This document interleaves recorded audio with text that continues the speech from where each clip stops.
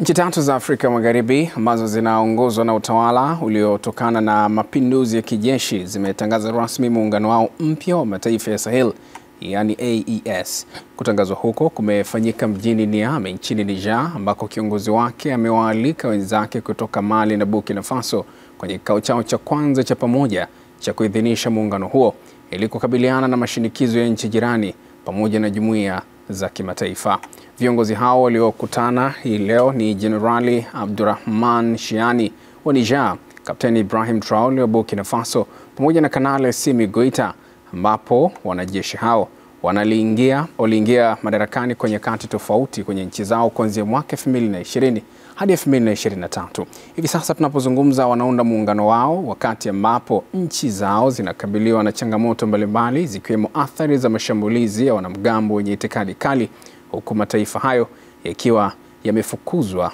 wamefukuza baadhi ya wanajeshi wa Ufaransa na kuwakaribisha